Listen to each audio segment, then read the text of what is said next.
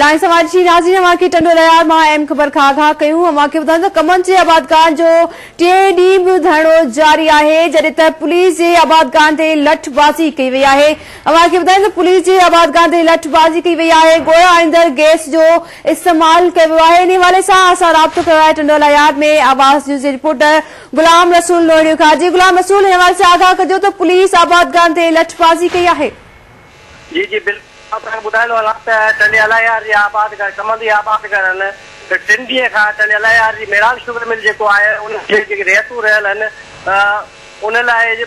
एहतियाती कैप लगाई हुई विश्व मेराल शुगर मिल के साम्हूं ऐं मुतालबो हुयो त तो असांखे जेकी शुगर मिल है एक सौ बयासी रुपए के हिसाब से कमल ख़रीद कयो हुयो पर